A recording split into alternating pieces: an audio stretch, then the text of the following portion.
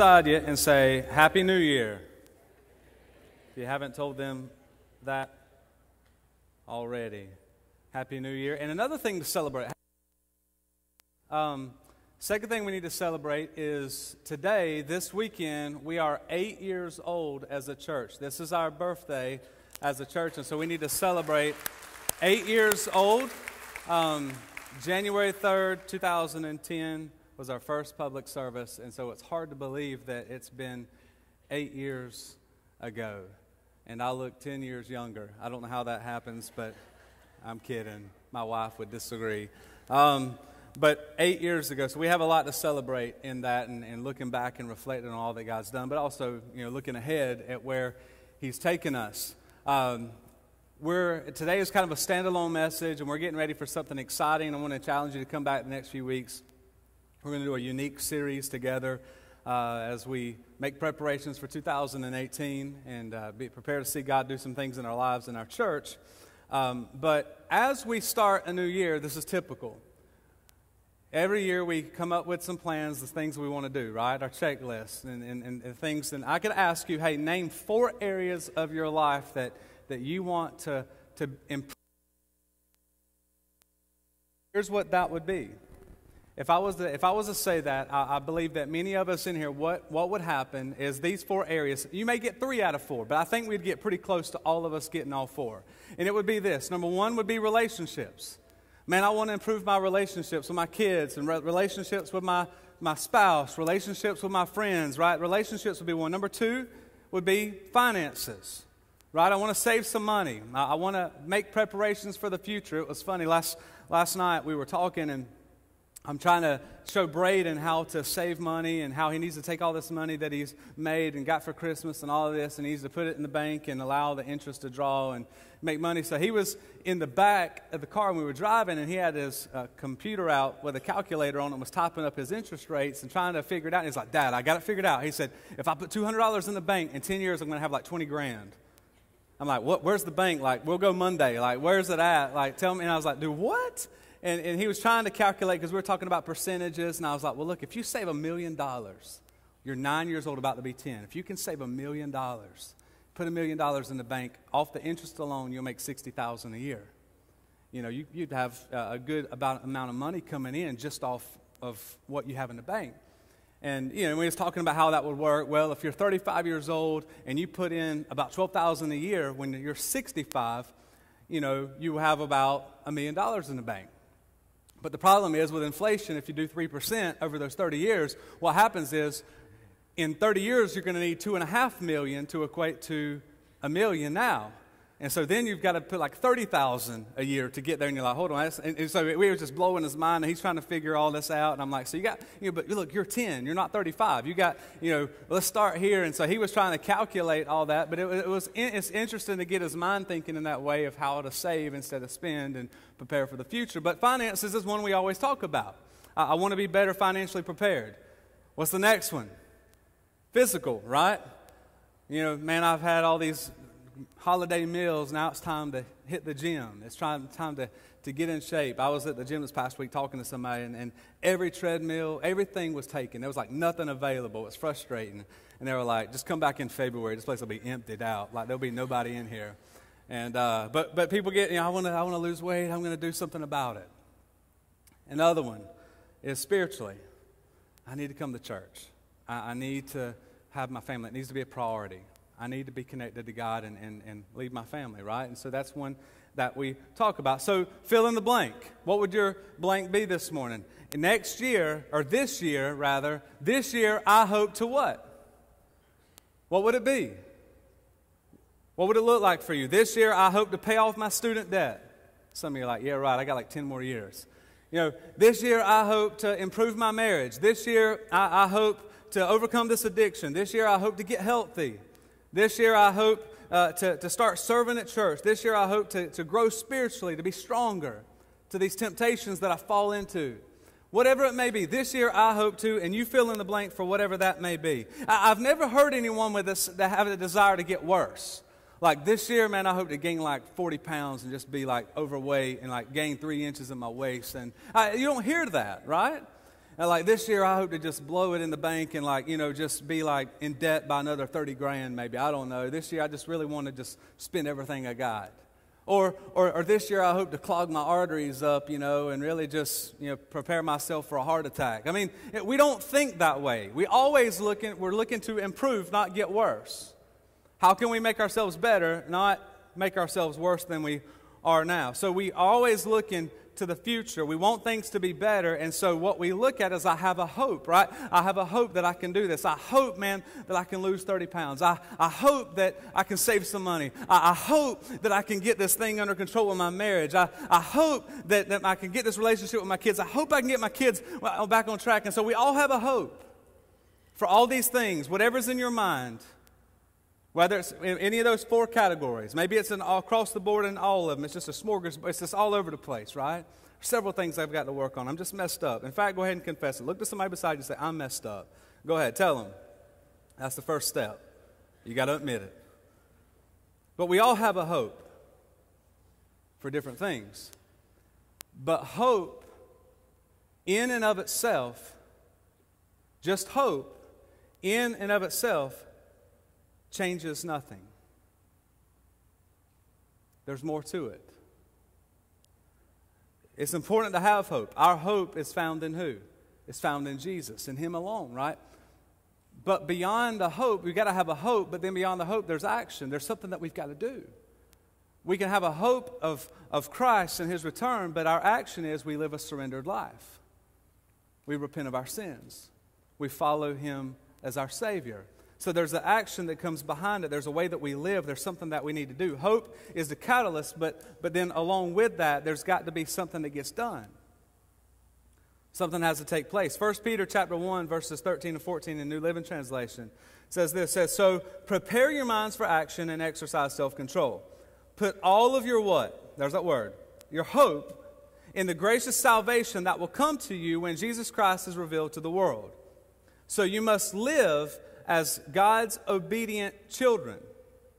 Don't slip back into your old ways of living to satisfy your own desires. You didn't know any better then.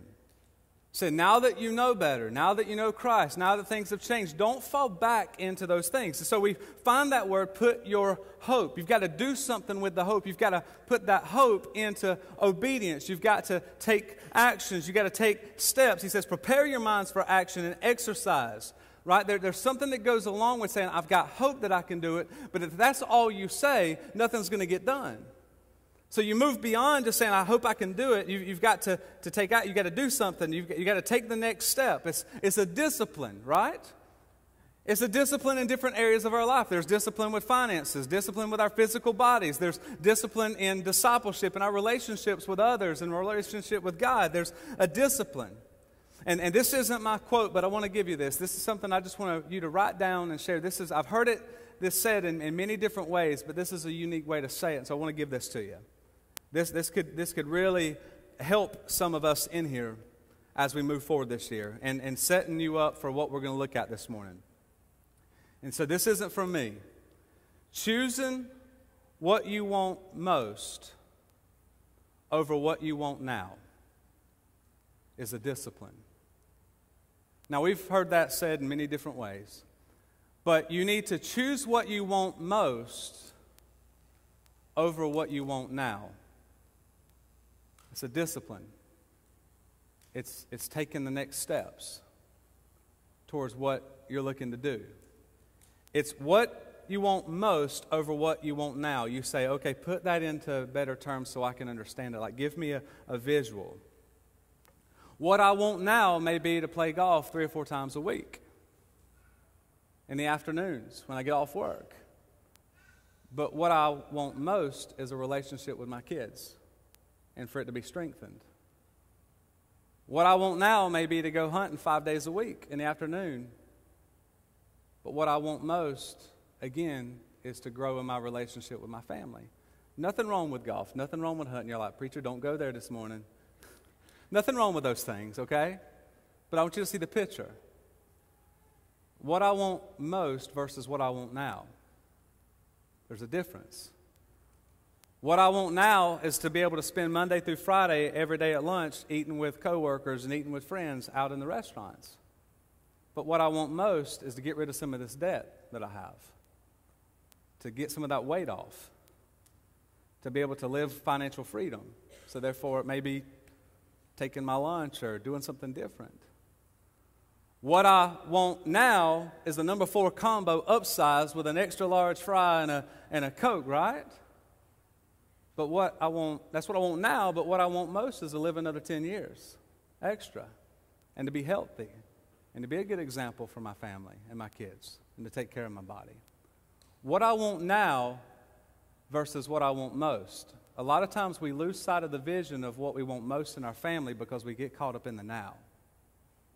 We get caught up in what I want to see now, the instant gratification, and we lose sight of what's most important.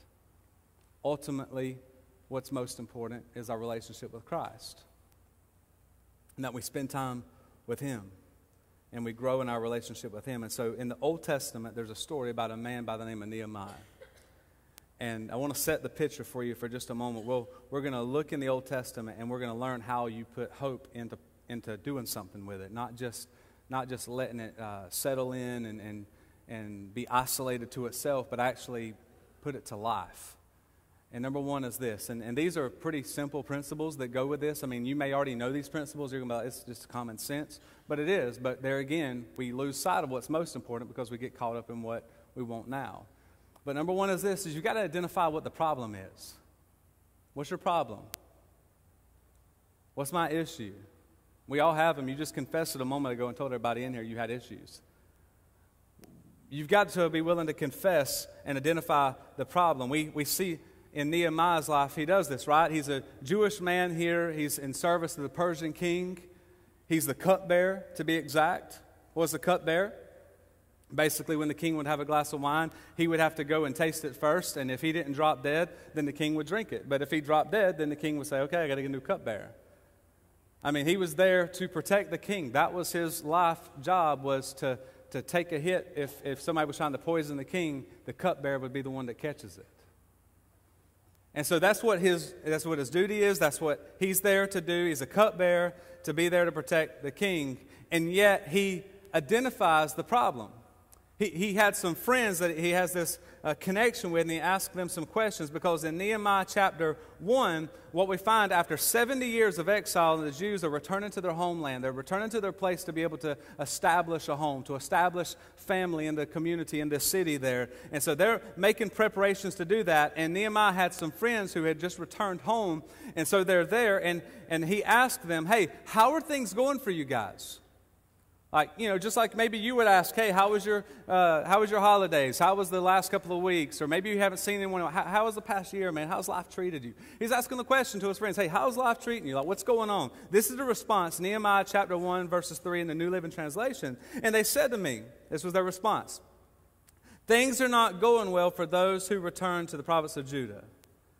They're in great trouble and disgrace. The wall of Jerusalem has been torn down and the gates have been destroyed by fire. Now, let me give you the significance of this wall that they're talking about. This wall provided protection for their people, this wall provided um, security for the, from the enemies. Without this wall, they were very vulnerable and they were at risk of being attacked by the enemies around them. And they could be easily attacked at any moment. And Nehemiah just, he didn't hope that things would get better he looked and, and, evaluated, and when he asked the question, What's, how things going, and he realized there was a problem, he begins to identify it. He begins to, to look at the problem and see what was going on, and he identified the problem, and the problem was the wall had been tore down, and there was no prote- protection there for them. Maybe some of you here, you've identified the problem. Maybe every year you go back and you evaluate your life, and you know what the problem is. You, you can pinpoint some of the problems that's going on in your life. That was the case with Nehemiah. They had been in this position for 152 years. This wasn't something recent. They had been vulnerable in a place of attack for 152 years. Somebody needed to do something about it. And, and no doubt, maybe some of you have tried to do something. You've, you've tried to change. You've tried to make a difference. You've tried to get healthy. You've tried to do those different things. And maybe you find yourself being unsuccessful with it. Continuing to try to make a change, maybe in your marriage or maybe with a, a substance abuse problem, and you're trying to control it and just and you fall back into it. Whatever that may be for you. Or, or, maybe you need to be willing to admit those things that are going on, to identify it, whether it's depression, whatever it may be. That the first step is identifying the issue. Maybe for some of you, you've, you've identified that. You've identified the problem. This is the problem, blank, whatever it may be. You say, Well, I, have got that part, Benji. I know what that is. I've identified it. But here's what happens as you read Nehemiah and you follow along, you turn the page, and as you're turning the pages reading, you get to a point, Nehemiah looks at them and, and, and he tells them, Hey, you're going to have to you're going to have to build a wall. You're going to have to do something about this. You're going to have to change. Something's going to have to change. You, we, we've got to do something different. Write this down. You can't defeat what you haven't identified. My wife does really well with this. She reminds me of this all the time. In fact, we were talking about this the other day.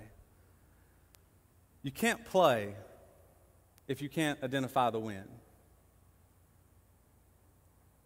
If you don't know how to identify the win in your life, then you're just going through the motions and you're really just existing.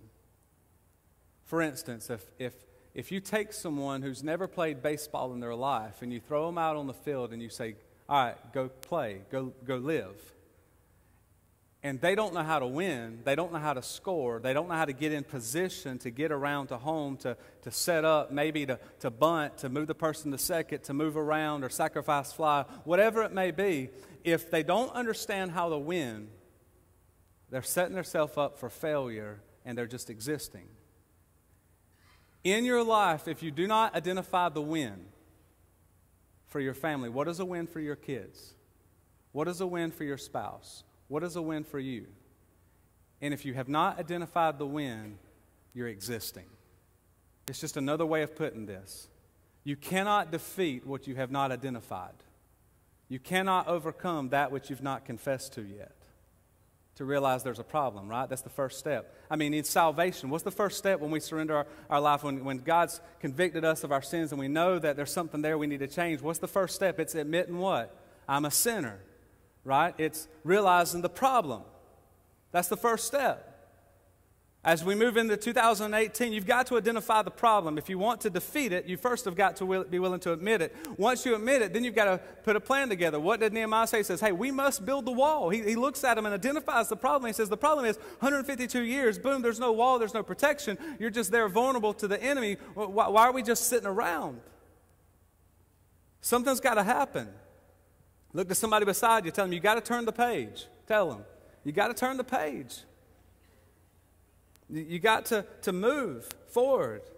I, hey, I'm going to attend church more consistently. I'm going to make it a priority. I'm going to commit to, to grow closer to God. I'm going to commit to get healthy. I need accountability with the internet. I need accountability with my finances. whatever it may be, uh, you've got to be willing to identify and then turn the page and say, hey, last year was a different story. This year, I'm, it's a new page. It's a new chapter. It's a new way. I'm identifying it. I'm going to do something about it. You know, because here's the, here's the issue. When you get caught up in a life and there's pain and there's instability and there's issues and, and it's, it's a unstable ground and it's rocky for so long, you get comfortable there. And you settle in and think, well, this is how life's going to be this is how the rest of my life is going to look, and you don't realize that you're in great trouble, in ruins. And here's the issue with that that means the walls in your life are broken down, and you're vulnerable for attack. And you're vulnerable, and you're at risk of being defeated.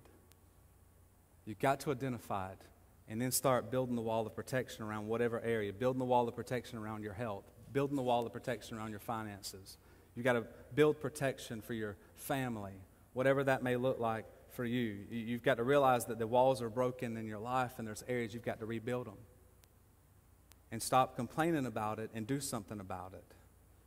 And, and to be encouraged in the place you may say, well, man, I got a lot of walls down. to be encouraged by that, to understand that, but just in the, in the places of our biggest problems, we can show God and He'll show us the greatest story. And that God can work in our, our greatest problems. So, number one is what? You got to identify the what? The problem, right? Number two is this. A lot of us bypass number two, by the way. We'll get number three in a minute, but a lot of us, especially us guys, we, we identify a problem, and what's our next step? We want to what? Fix it, right? And sometimes your spouse don't want to hear that. They're like, well, here's, the, you know, well, here's your problem. This is what you need to do. I, I, don't want you to tell me how to fix it. I just want you to listen, right? Uh, so we identify the problem and we want to move directly into fixing it. I fall into that category a lot of times. I have to check myself. Number two, if we're not careful, we'll bypass. So identify the problem. Number two is this to pray and seek God.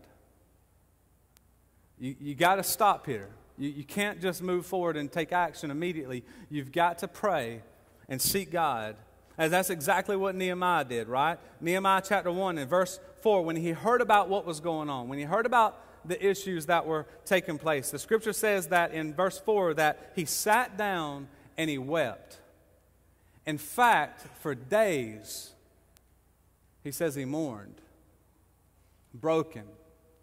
Then he fasted and he prayed to the God of heaven.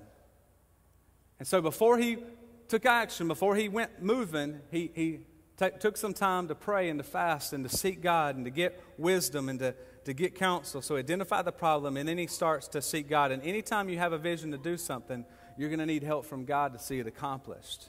And, and Nehemiah starts to pray and he fasts. And then he goes to the king and he says, Can I have permission to go do this? And of course, uh, he has favor granted and he goes there to, to help them to be able to start uh, the process. Now, it would have been easy for Nehemiah to go, when they told him the story, for him to go, man, that's terrible. And then for him to go on Facebook and write this long post about how terrible it is and complaining about the problem, and then go on with his life. It have been easy just to complain. He wasn't a builder, he wasn't a professional contractor, he was a cupbearer. And so that's what he did. But yet he was willing to take action. He could have had every doubt flood his mind in those moments. I have no business trying to help build this wall. I have no business trying to tell them what to do. I don't even know what I'm doing. Many of us have felt like that many times in our life. Not qualified, not able to relate to that because I don't know anything about it. And maybe some of you can relate and you start thinking, well, man, if I start this, I might fail. And then people will think I'm a failure, so I'm not going to start. I know I need to lose 50 pounds. But if I start it and then I fail, people are going to say I'm a failure, and I, so I just won't start it. I'm gone. I'm too far gone. And then you quit. I, need to save. I need to do something. I need to set up for retirement. I need to. I need to stop spending everything I make. And, and then you look at it, and you say, "Well, I'm too far gone. I'll, I'll leave this earth with that. I just need to just forget about it and keep doing what I'm doing." And as a result, you, you miss out on those opportunities of what God wants to do. I'm not qualified to do that. I don't have what it takes. And that's exactly why it's imperative to seek God first, because you don't have what it takes. But with God, all things are possible. And God wants to do the impossible through you. And He wants to use you. Because God doesn't always call the equipped, but a lot of times it's the fact that He equips the called. He equips you along the way and, and makes preparations. So let me ask you a question. What is the one change you could make today to get started? On that, fill in the blank. This year, I hope to. What is one step? You may say, There's no way I could save $12,000 a year to go towards a 30 year plan to get me to a million dollars in retirement. There's no way. Where do you start? Are you putting $10 a week away? $20? Whatever it may be, have you started somewhere? Have you made a plan? Have you, have you done anything? Well, I, I, I know I'm so, I, I know I'm, I'm, so overweight. I know, I know that my body's not healthy. I know that my, I know those things are there. What, have you, what's the first step? Maybe instead of drinking 10 Cokes a day, you drop it down to like five, right? I mean, start somewhere. Don't say you can't. And you can't on your own. But God calls us to first have a relationship with Him and then with other people to Find people who are successful at those things. Find people who are financial advisors. Find people who are physically fit. Find some of these guys in here to do those things. How did you do that? How can you help me? And not just sit around and say, I can't, but to identify the problem and then seek God, seek counsel, get wisdom, and then get a plan in place and look through what you're able to do. And, what could you do for the kingdom of God if you were physically healthier? It may be go on a mission trip up in the mountains somewhere overseas. What could you do financially for the kingdom of God if you were debt free? What, what can you do with your life if, if you were in a different place for your family? And we need to realize God's given us everything we need and everything He wants us, with everything He wants us to do with what we already have when we surrender our heart and we surrender our, our lives to Him. So the last one is this, right? It's identifying the problem, and then it's seeking God and, and getting a plan together, seeking wisdom, get counsel. And then once you get wisdom and you get counsel and you get a plan and you sit down, and then the third one is this, is you just get busy and go to work. Look at somebody beside you and say, get off the couch. Go ahead, tell them, get off the couch with your finances. Get off the couch with your relationships. Get off the couch with whatever area of your life you're struggling with, stop saying you can't. And let this be a year that, that you don't make a, a New Year's resolution that's going to be dead in three weeks, but you turn the page in your life and realize this year I'm going to focus on what's most important, not what I want now.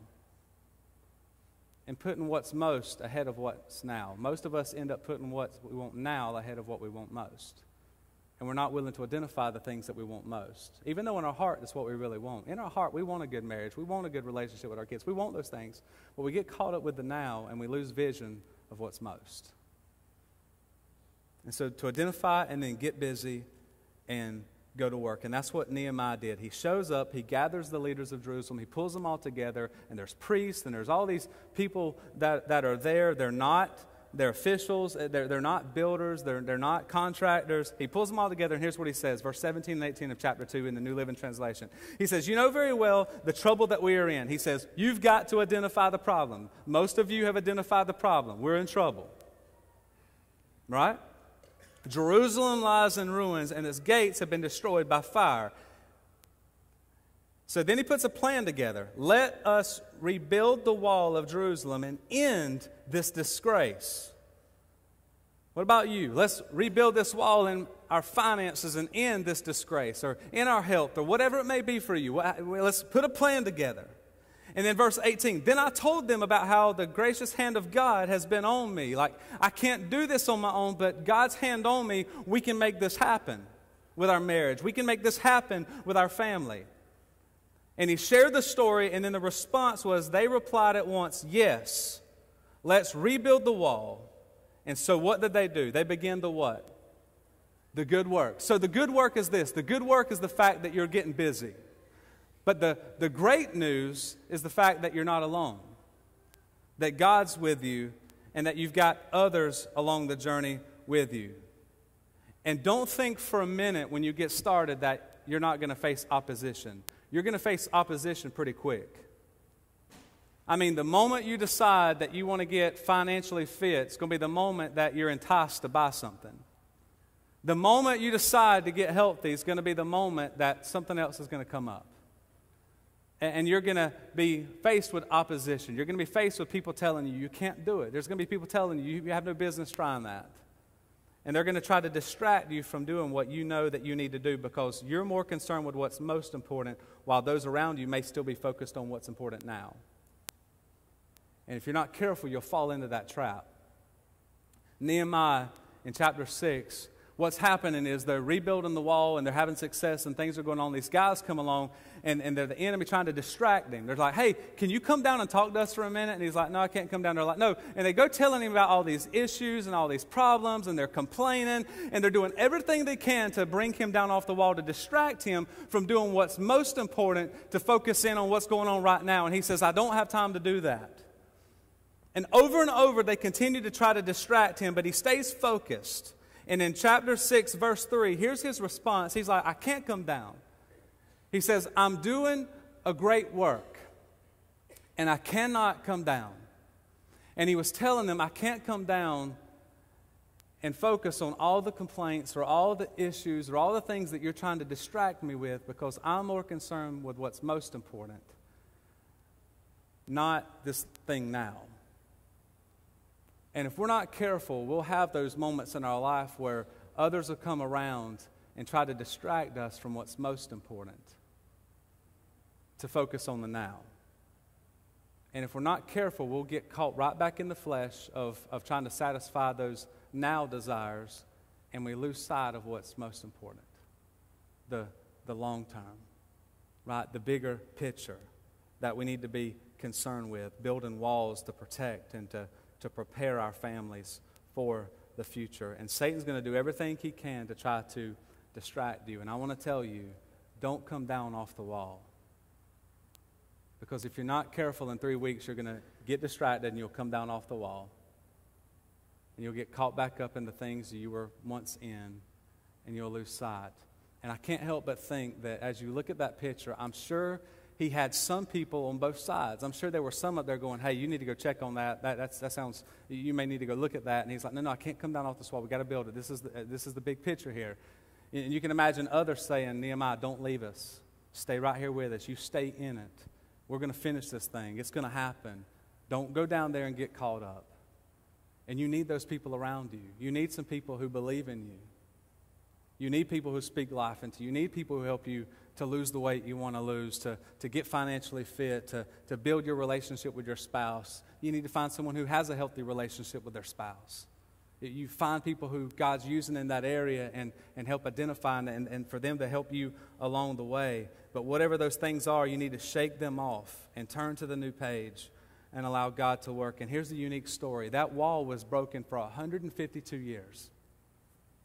Nehemiah comes along, identifies the problem. Once he does that, then he seeks God, he gets wisdom, direction, and a plan, and then he gets busy. And as a result, 52 days later, the wall was built. 52 days from 152 years. What was the problem? One, perhaps for a while, nobody would really even identify the problem was there. But once they did, they probably said, well, nobody can do anything about it. There's nothing can be done.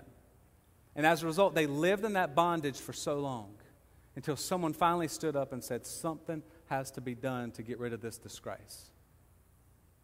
When will we stand up in our families and say, something's got to be done to keep us from ruins? Something's got to be done to protect our families. Something has to be done and I want to be focused on what's most important, not just what's going on now. Because there's so much more to life than that. And God did exceedingly and abundantly more than they could have ever imagined that was possible. Why? Because they were obedient. You may want to write this down. What God wants to do through you, what God wants to do through you will be limited. You say, hold on, God's work's limited? Listen to me. For what God wants to do through you will be limited by the work that you're unwilling to do. What God wants to do through your life will be limited by what you're unwilling to do, by the fact that you're not willing to take those steps, that you're not willing to, to, to be disciplined, that you're not willing to focus on what's most important over what you want now. But you got to take the hope that you have and you have to do something with it. And so don't be limited by your willing to not do anything willingness to just sit back, but to take action and, and to do something. So, what are the tangible steps you need to take? Do you need accountability? Get it. Do you need a mentor or a trainer? Get it. What do you need? Do you need a life group? Absolutely. Get it. Do you need people that will speak life into you, that will be honest with you? Get it. I'll never forget, I, I was having some health issues and, and, and was sharing that with someone, and, and they were just honest. They said, Do you want an honest opinion? You need to lose weight. And I was like, ah, wow. But for someone to be honest with you, to be transparent, because they're more concerned about what's most important in your life, just not what now.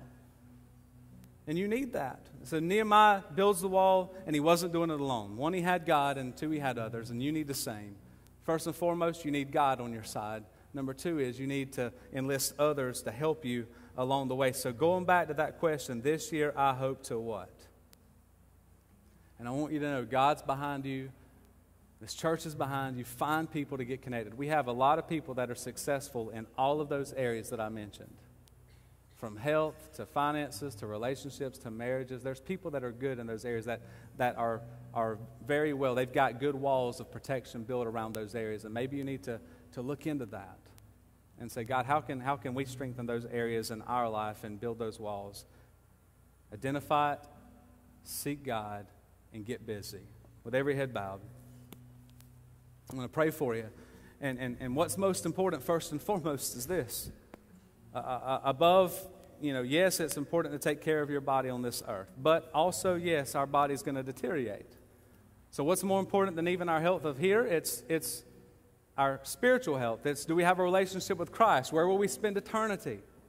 Most important decision we can ask, the question we can ask is where will I spend eternity? Do I have a relationship with Jesus? Have I been forgiven of my sins? That's the first step.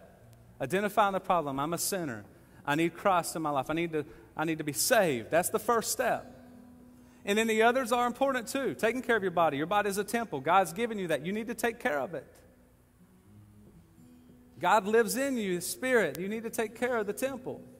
You need to take care of your finances. You need to be disciplined in those areas. Be good stewards. But it starts with surrender and identifying that. With every head bowed, if you say, hey, Pastor Benji, I, I got a lot of things to work on. But if you're here right now and you say, but the first thing I need to do above all else is I need to surrender my life to Jesus. Above all the other mess, above all the other things, above all the other issues, first and foremost, I've got to surrender and repent of my sins and confess Jesus as Lord. And that's the decision I need to make today. And I feel like God's working in my heart right now and He's pursuing me. And I, it's strong and I know I need to do it. Maybe it's your first time here. It could be your 20th time here. But it's in the moment right now you say, That's me. I, am not going to ask you to stand up or come right here. But I just want to ask you to, no one's looking around, just raise your hand in a moment say, That's me. Pray for me. I need to give my life to Jesus. Starts right here. If that's you, one, two, three. Hands are going up already. Thank you. Thank you. Thank you in the middle. I see your hands on the left. Thank you. I see your hand. Young man, thank you. I see your hand. Any others? Thank you. Thank you for raising your hand.